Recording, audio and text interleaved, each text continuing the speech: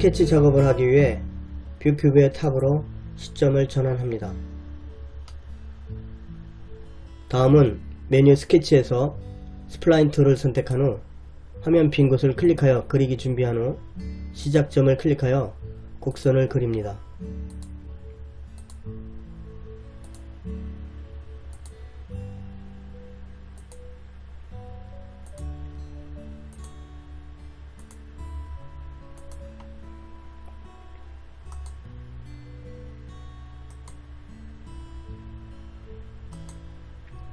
초록 버튼 exit mode를 클릭하여 완료합니다.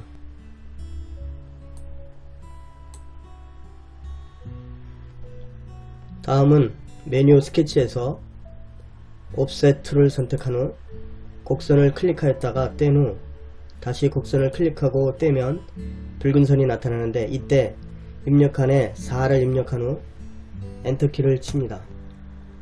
다음은 메뉴 스케치에서 polyline tool을 선택한 후 곡선을 클릭하여 곡선과 곡선을 직선으로 연결합니다. 하단도 스케치면을 만들기 위해 직선을 연결합니다.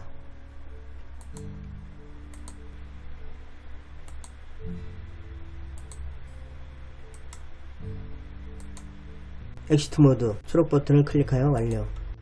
다음은 메뉴 construct에서 revolve tool을 선택한 후 profile 탭은 이중선 사이의 스케치면을 클릭하고 axis 탭을 클릭한 후 세로축으로 사용할 직선을 클릭합니다. 이때 앵글 입력칸에 360을 입력하여 회전 solid를 만듭니다. 화면 빈 곳을 클릭하여 완료. 병 solid의 윗면이 보이도록 마우스 우측 버튼을 이용하여 시점을 약간 전환합니다. 다음은 메뉴 modify에서 fillet tool을 선택한 후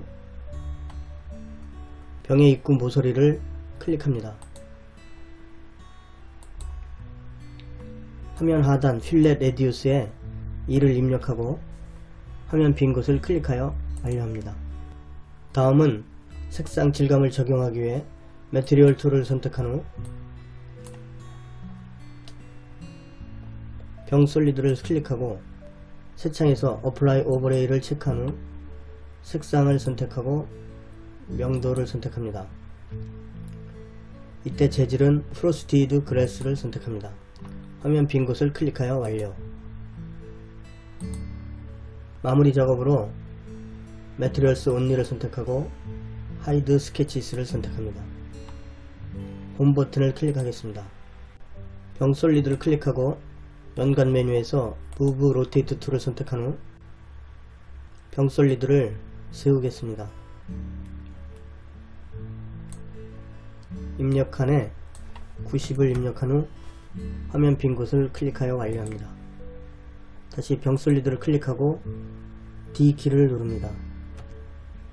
홈 버튼을 클릭합니다.